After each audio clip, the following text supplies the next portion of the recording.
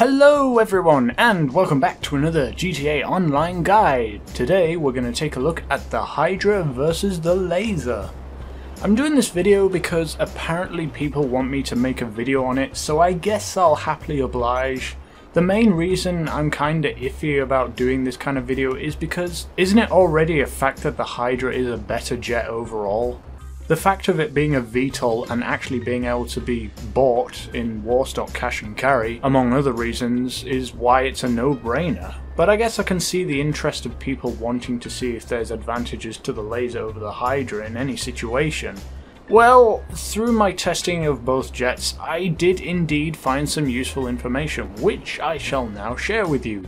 And without further ado, here's the Lazer versus the Hydra guide. Let me just give a quick rundown of the Hydra, then when I talk about the Lazer, I'll just explain both jets in each aspect just to make this a little easier. The Hydra, a jet that is capable of both aeroplane mode and VTOL mode. It has a very deadly and accurate machine gun with explosive rounds and comes with two fire missile launchers. Pretty simple stuff. Now let's talk about the contender. The Lazer. How you obtain one is kind of annoying since you can't actually buy one of these in Warstock Cash and Carry. To get one of these you have to call Lester and get the cops turn blind eye perk in effect.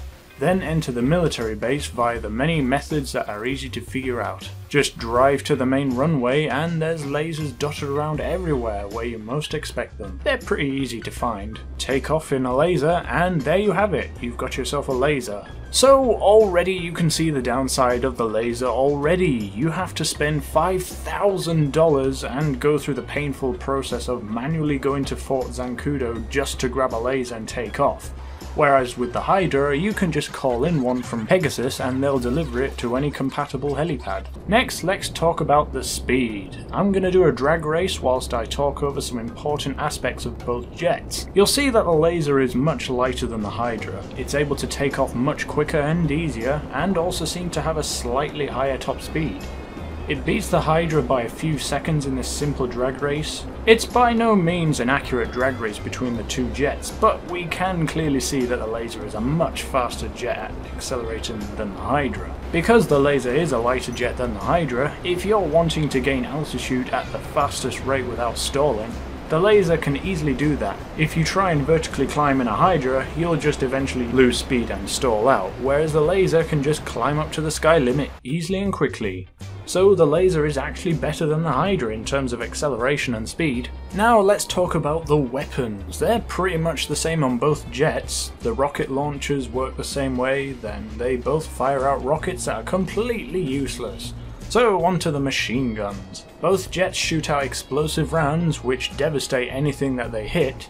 The machine guns on the Lazer have a pretty nice wide range compared to the Hydra, but the Hydra fires at a faster rate and the fire is more focused into a line making it a much more powerful machine gun against targets like insurgents which needs a lot of firepower to be destroyed. Avoiding missiles in both jets is possible, however the Hydra's rudders are much stronger than the ones in the Lazer, so depending on where and how far away a rocket is, a Lazer can avoid most missiles if fired at them. Speaking of which, the Hydra is a much more agile jet. You can fly in between buildings, go upside down, through barns, do I don't know where I was going with that. But anyway, yeah, the Hydra is a much more agile jet than the uh, Lazer. The main advantage of the Hydra, as stated earlier, is the fact that it can go into VTOL mode, or vertical takeoff and landing which means that the Hydra can land in places where the Lazer just can't go. And in my books, the ability to land anywhere you desire is definitely advantage. However, don't use the weapons whilst in VTOL mode, otherwise you're just gonna have a bad time. So I hope I covered every essential thing you should know about both jets. Obviously the Hydra is overall better than the Lazer, but at least the Lazer is faster in the Hydra in the case of horizontal speed and the ability to make speedy altitude gains. And I hope you enjoyed this video video. If you did, make sure to leave a like and subscribe if you're new to the Pyrerealm Gaming channel.